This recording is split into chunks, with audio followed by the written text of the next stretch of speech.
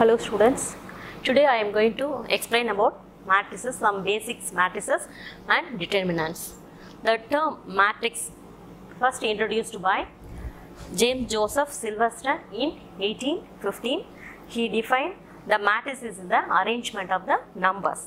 After that, in 1858, Cayley defining that is a addition, multiplication and scalar and inverse. So knowledge of the matrix is very important uh, because of the wide range of applications.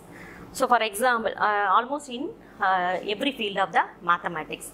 So for example, in uh, physics, that is uh, to study the electric circuit and the quantum mechanics and optics and computer based application that is a matrix is a vital role uh, that is a projection of image of three dimension into the two dimension and also in computer science that is a uh, it is very useful for the coding.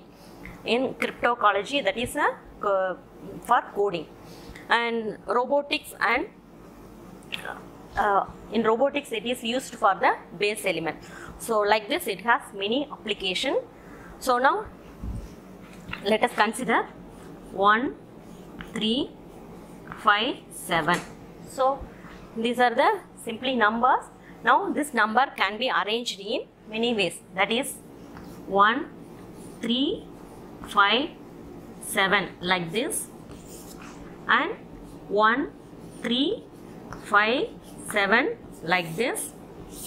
Or 1 3 5 7 like this. So these are the arranged in rows and columns.